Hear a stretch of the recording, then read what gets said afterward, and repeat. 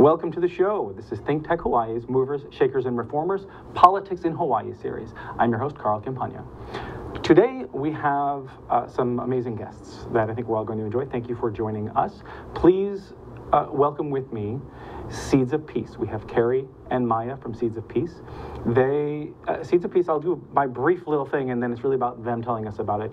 Uh, Ceeds of Peace is a 501c3 nonprofit organiza- organization that helps to grow peaceful leaders. Let's learn what that is about. So please, welcome to the show. Thank you so much for joining us. Thank you Thank for you having having us. Thank you so much. So excellent. So this is, I'll also say, this is the first time that the- either of them has appeared on Think Tech Hawaii. Yeah. There's also a podcast for this. There's going to be a YouTube video for this, so I can get that to you if you want it. Thank you. So, okay, Ceeds of Peace. Tell me, we have the founder, founders Founders. of Ceeds of Peace. Tell us what you do, how you do it, and for how long you've been doing it. You want to start? Sure, I'll start. So uh, Maya and I teach together at the Matsunaga Institute for Peace. And one of the things we discovered in our evaluations from our students is our students were frustrated. They said, you know what, we are just now learning these skills of peace building and conflict resolution, and why didn't we learn these skills when we were younger? Our families needed them, our school environments needed them, our communities need them. You really should do workshops in the community. So Maya and I said, let's try it and let's see if people are excited about it. And we piloted a 2011, piloted a um, workshop, brought schools, school staff, families, and community members together to say, how do we raise peace building leaders? Um, and what are those critical skill sets that they need to really be effective? And it was successful, and people said, when's the next workshop? And we said, we'll get back to you. Excellent. And it has grown from there. It has. Yeah, and I was teaching at the College of Ed, but with Kerrie doing adjunct uh, teaching mostly peace education for the Matsunaga Institute of Peace, where I uh, now work full time.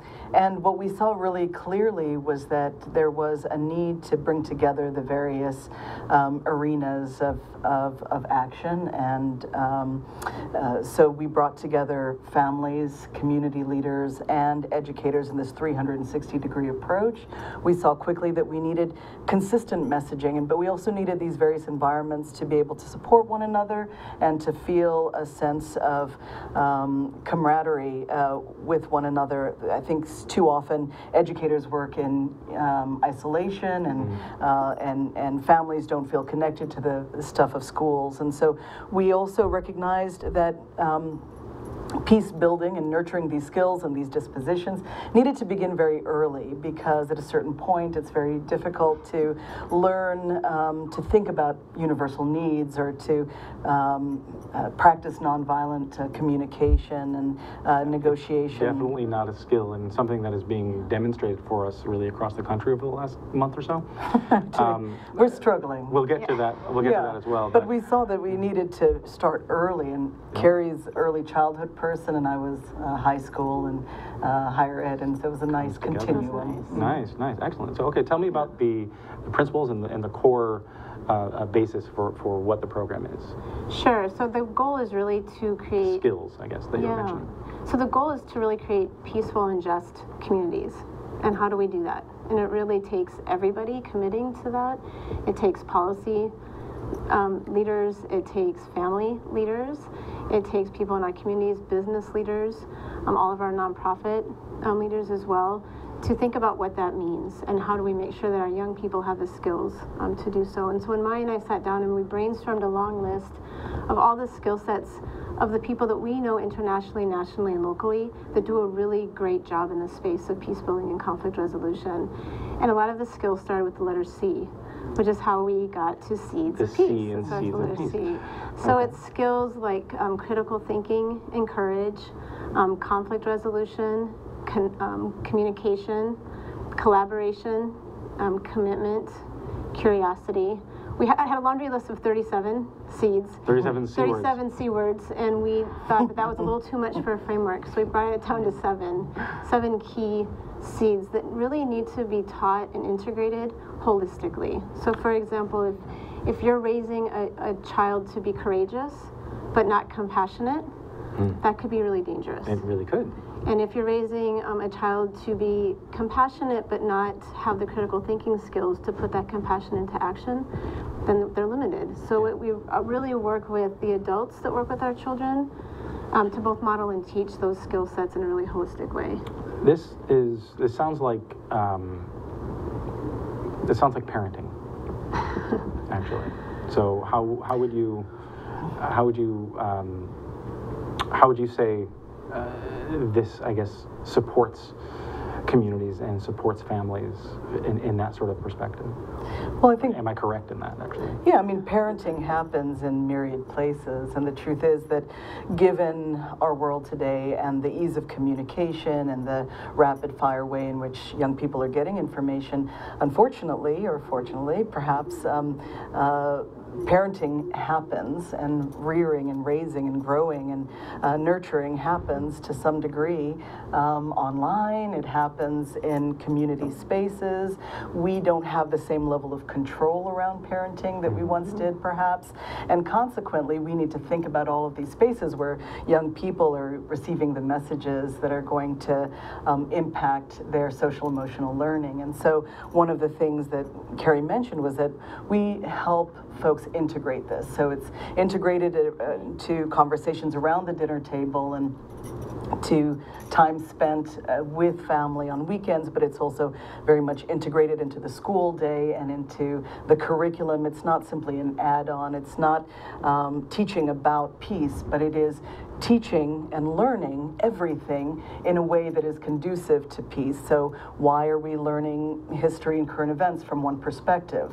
Why are we not practicing, um, you know, uh, the development of multiple languages and perspective shifting and and um, sort of empathetic. Um, uh, you know, tools of, of understanding in, in all of the learning that we do um, in all of the spaces where we learn. So that is tied to the program, to, to your program and how you get it implemented into schools. Yeah, so we do work with the DOE. We have uh, facilitators, um, and we have these Federal or state DOE or both? state. State DOE. Okay, thank you.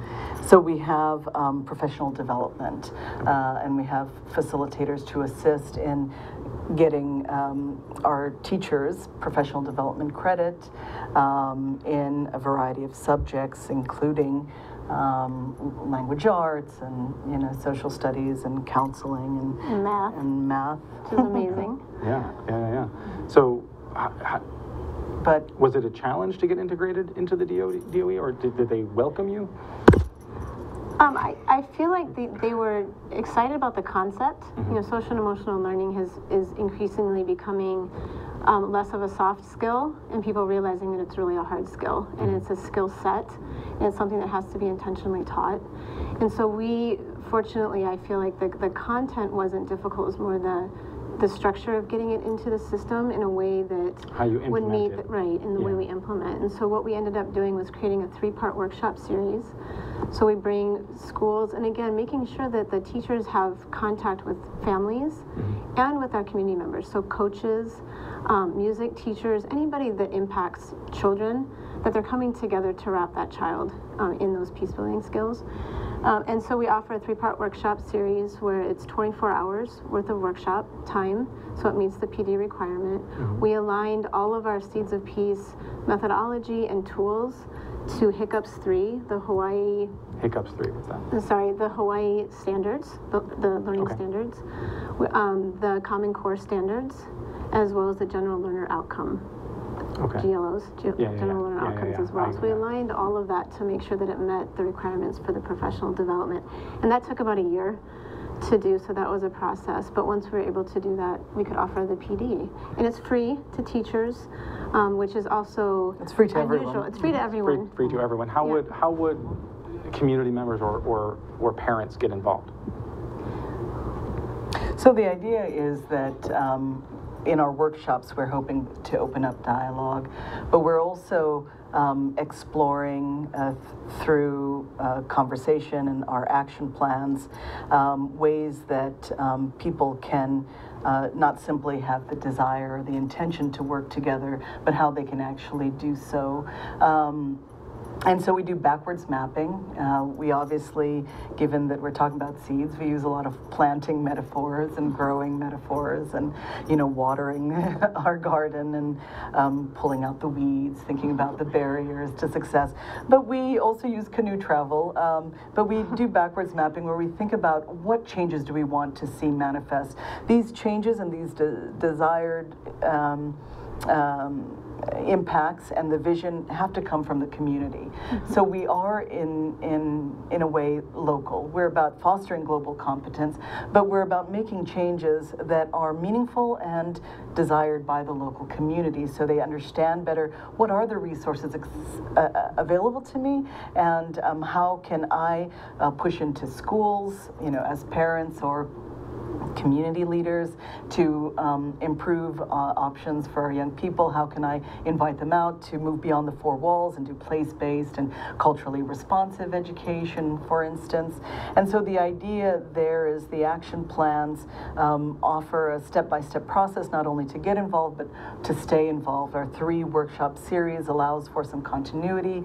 Facilitators work with um, the action plans in between and then people feel a sense of success. Mm -hmm. And commitment to one another, but also to um, peace building. And they say, well, I'm actually empowered to do this and this. And you find that the action plans lead to ongoing um, civic engagement and advocacy and action. That, and that will be part of our transition as well to the next part of this. But so it's, in, it's, it's engaging the community, doing an outreach with the community through the, through the schools, um, separately from the schools? It's both. So we okay. do outreach to the schools, but we also do outreach through all of our community partners um, across the state. Okay. So right now, we our programming is in Kona, West in West Hawaii, and on Oahu, um, predominantly on the leeward side. And but we are still open island wide for people sure. to participate. Okay. Um, but we have, fortunately, we max every workshop. So we have about over 100 people that participate each workshop. So how do you are you're you're planning growth? Yeah. We are planning growth and trying to do it in a thoughtful way to keep the fidelity of the program yeah. and making sure that the quality remains high and that people feel confident um, being facilitators, um, running workshops on their own. Um, and figuring that out is to, in terms of how we scale thoughtfully is, so is where like we are right train now. the trainer program. Yes, we're actually developing things, right? that right now. Yeah, yeah, yeah. yeah. yeah. Um, I I know of four kids that can use some of this. Uh, we all, we all, it's a daily practice. yeah, I, seriously, and I, I uh, so I myself would like to participate in whatever I can get please, into. Great. Please let me know. Yes. yes, please. I, I would you love that, and I will promote leader. that as much as I can. uh, certainly. You. So no, I think that's great. So okay, we, we do want to transition a little bit, or I want to transition a little bit. So thank you first of all for helping us understand more about uh, Ceeds of Peace. Mm -hmm. um, we'll continue to ask a lot of questions as we go, but let's transition into that next step of, of activism and advocacy and that sort of mm-hmm. leadership in that regard. Um, does that's that's part of the process from pre-K through is is you're trying to create this pathway, right? Mm-hmm. Mm-hmm. Correct. And hopefully at, at the end of that you've got civic engagement because people are recognizing how to. Is that part of it? Is mm-hmm. how to engage, and how do you how do you bring that about? How do you connect the activism and advocacy with the peace training? So one of the tools that is is very relevant now, um, but has been popular historically, is what we call the upstander.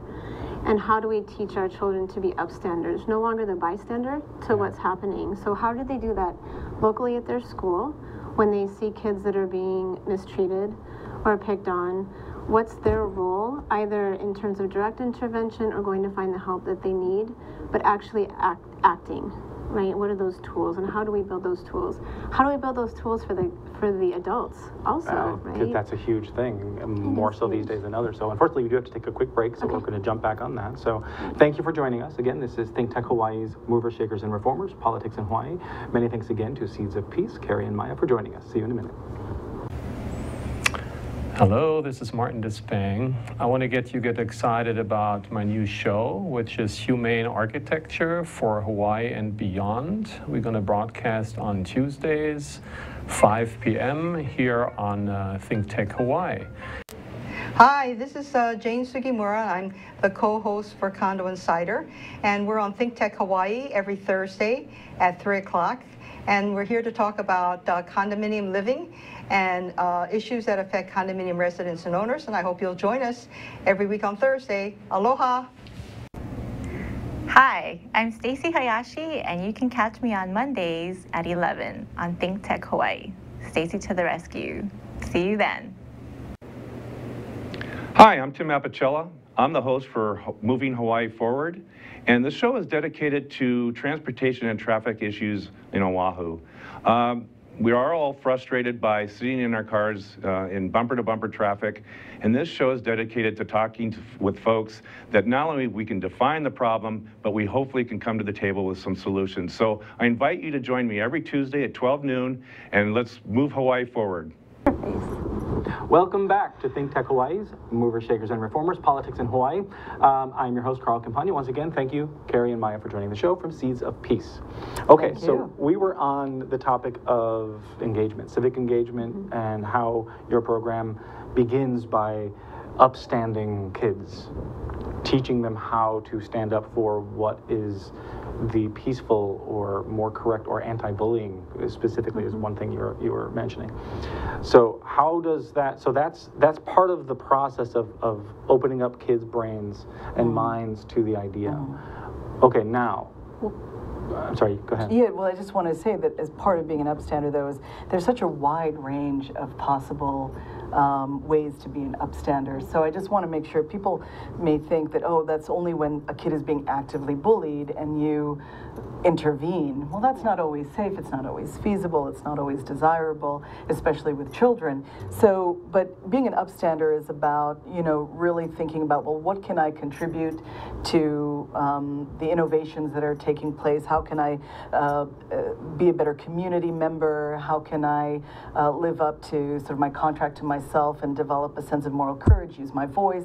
How can I um, advocate for other people? How can I engage in community service? How can I, you know, help to build um, um, a, a more resilient community here on my school or in my classroom? How can I be kind and use appropriate, you know, language? So they're just, I could go on, but the point is that being an upstander, part of what we want to do is to help people understand uh, that these are multifaceted and very pragmatic skills and tools. And so that's why we frame it as a toolkit. So we have over 150 um, ever growing tools that can be used so that people know that um, what might work in one space won't work in another. But we can become involved, whether as young people or as adults uh, who are helping to shape those young people for a future that is uncertain, that we have so much. Um, uh, in the way of resources, you know, human and otherwise. And there's on, there's not a, one way to be a hero. There's a myriad multitude of possibilities. I, I'll, I'll jump on that and, and I'll give you a proud dad moment, um, if I Great. may, real Yes. quick. we like those. Um, my my son, he's 11 years old, and he goes to Kamehameha schools. I'm very proud of him. He got himself in that. He did that. Um, I guess that's the first proud moment. The second proud moment is uh, I was talking with him. We got his grades in, and we were talking about his grades and how he can, you know, be a little better here or there. And he told me that some of the kids were would tease him mm. every time he got something wrong. Hmm. When he would get one wrong answer, he would get teased because, oh, you got that one wrong. Hmm. And I said, well, is that the only one you got wrong? Well, yeah. I said, did they get it all right? Well, no, they got, probably got three or four wrong. I'm like, oh, well, then they're just teasing you, right? Is, I said, is it kids that are in your grade or younger than you or older than you? He said, yeah, it's mostly my grade. And then he said, the kids who are younger than me look up to me as a role model. So I do what I can to make sure, and it makes me cry every time about it. I do what I can to make sure that I'm living up to what they need to see. Fantastic. And I, I, it does make me cry because that was my 11 year old. yeah. And I wish I could say I have responsibility for that, but Uh, well, you do. to I'm some sure extent, you but a do. lot of it was, but it was, sure but it was yeah. him, and it was his heart, and and it's those sorts of Yes. things. So that's that's you know I don't say that just to talk about me and my son, but that's connecting with with what you're saying and how you're trying to get kids thinking, right? Correct. And I think what Maya was saying about the moral courage, like your son having the moral courage to reframe that experience and realize that he is a role model for the younger kids and be able to put that teasing aside Yeah. is a really powerful tool and He teaching he didn't know how to do put that. it aside until I, until we talked about it. Yeah. And then, Yeah. and then I, we realized in that conversation, oh, Hmm. I didn't know that was happening. Well, okay, let's just, this is actually what's happening. They're Mm-hmm. actually kind of jealous. So let's be kind with them, but recognize that that's what that is. Well, you're pointing to a bunch of stuff. Yeah, I was just like, And, that's so um, much on One is that we talk a lot about how modeling is more important than Yeah. direct teaching, that we learn so much more. in the science um, research all shows us that we learn so much more through effective modeling, so your son understood that.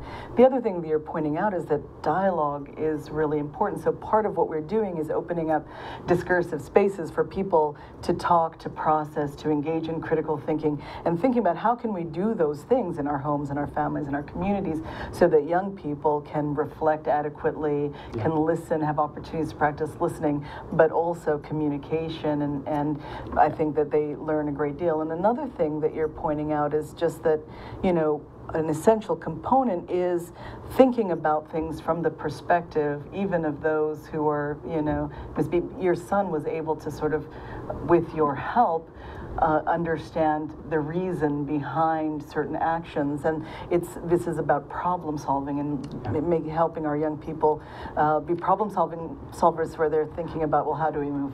Forward? Problem solving, coping skills, mm. And the, uh, social relationship. Yeah. Yeah. Absolutely. Well, the other thing I want to add too is we spend a lot of time working both with adults and with children around the reaction. Mm. So, what is the compassionate reaction versus the fear based or angry reaction that usually doesn't lend itself to a, a good outcome?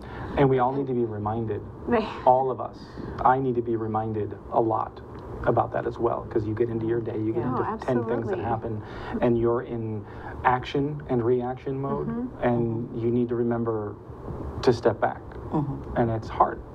And your son has demonstrated, right, that receiving that teasing, what is his what is his response going to be that's going to lend itself either to transforming that relationship or a better outcome for himself where he's leading with compassion and not with anger and fear. Right, exactly. So, okay, let's, let's, I want to get to, I want to get to the politics now.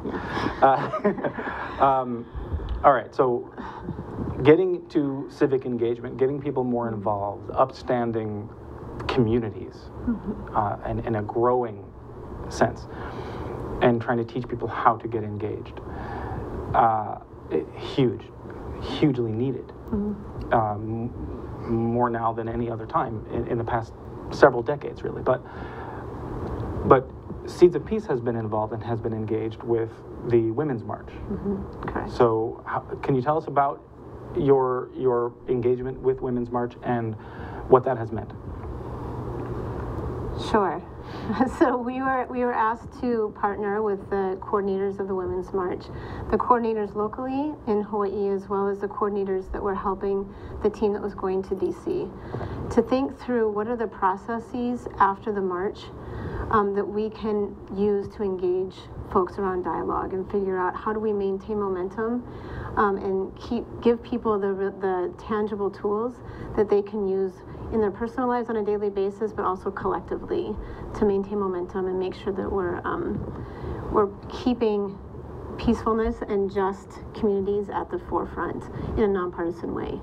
And so that was really in, in a important. non-part that's an important Nonpartisan. in a non-partisan way. Um, that's important because the conversations we have these days tend to be in silos or in bubbles. Mm-hmm. Right. So how so utilizing these s- skills mm-hmm. that we all need to learn mm. to break those down and to mm-hmm. talk between the bubbles. And and is, so is, is that would you say that that is um, part of what you're seeing going forward, or how what you're trying to help shape going forward? Certainly, yeah. I mean, we we um, we want it. We've been very clear, and everyone who has been in, part of the leadership group here in um, Hawaii, I think, uh, feels similarly that this isn't just a you know it's not an anti-Trump march. Um, we need to think about solution building around these things uh, that we. Um, care about, uh, and it's not just a women's march either. It has been about women's leadership at this critical juncture uh, on a wide range of issues that are inclusive of, you know, civil rights and liberties and um, and you know environmental um, stewardship and issues of climate and reproductive right and all of these things that um, do cut across um, the various parties. It, it, it does cut across the various parties. However, of late, the gap has widened has. such that there's less crossover, less Yeah. intersection. And our challenge, all of our challenges, is to find a way to, bridge, that, yeah. right? And I think part of the way that we do that is create a, a pathway, an invitation, um, but also um, help um, our various partners, and Kerrie can talk more about the specifics of that, but to um, to extend similar invitations to people to help walk across that bridge and um, think about what are our sort of universal needs, our shared understandings, where are the places uh, of connection and potential collaboration, and then you know what is what is the pathway. I think that that gap has widened in part because people don't really perceive um, choices in the same way, and I think that uh, they're they're That's very clear. learning from a bifurcated, you know, sort of media experience too. They don't have any access to what the other folks are feeling and thinking in the news and story they're receiving. But Yeah, I spend a lot of time on Facebook. Uh, I try to not block people. Yeah, um, I try to make my sphere as large as possible. Uh, but that means I get a lot of people who don't agree with me. Mm -hmm. I like when people don't agree with me. I don't like when they just throw nasty things at me. Yeah. And I say, and I usually reply to them, thank you for that. How about some constructive input? Let's have a conversation. How do I get more conversation? How do we do this? That's a, a really good question, and I think that's what we're challenged with. I think one of the questions that I would pose to partners is what vision do we have for Hawaii? What vision do we have for America? And is it a vision of um, compassion and curiosity, or is it a vision of perpetuating fear? Um, and I would, I think it's safe to say that most people hopefully would lend towards we want to be a compassionate nation. Um, and what does that take? Um, and I think, Well, I, I'll jump in there. Um, we only have about a minute left, so unfortunately, Okay. I kind of have to sum up here too. But um, the, the point has been made that not everybody agrees, and we might agree, and this is a greater challenge. We might agree with with that what that end goal sentence is, but how we get, Mm-hmm. we get there is a whole other question. correct. So, okay. Unfortunately, the show has to end. Oh, I no. don't No, want I it to could end. keep- um, I, I would like to first of all invite you back and talk more and get deeper into a lot of this as much as is useful, and if we can utilize this as a, as a, as a means as well, uh, please. Um, it's important that we engage our kids, and this is what this Yes, conversation has been about.